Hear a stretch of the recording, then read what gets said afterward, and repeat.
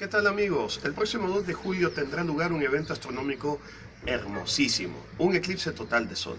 Este eclipse será posible eh, de ver en su totalidad en esta pequeña franja que cubre eh, los países de Argentina y de Chile. Como podrás observar en el diagrama, eh, Suramérica se encuentra cubierta y parte de Centroamérica. Para el caso de mis hermanos nicaragüenses, el eclipse será escasamente visible, como podrás notar en este diagrama.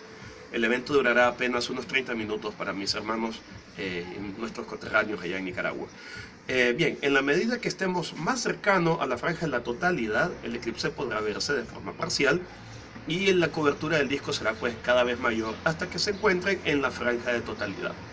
Eh, si tú deseas tratar de verlo, y no tienes equipo, no tienes telescopios, no tienes filtros, algo que siempre hay que tener cuidado, ¿verdad? Es de no observar el eclipse de manera directa, sin protección alguna. Así que si tú no tienes ninguno de estos equipos o instrumentos, puedes intentar tratar de observarlo utilizando esta sencilla herramienta.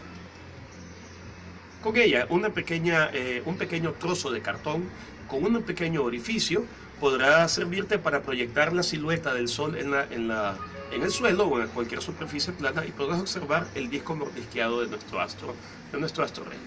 Así que si tienes más consultas, tienes más dudas, no te olvides de consultar a tus astrónomos de confianza o tu astrónomo favorito de cabecera.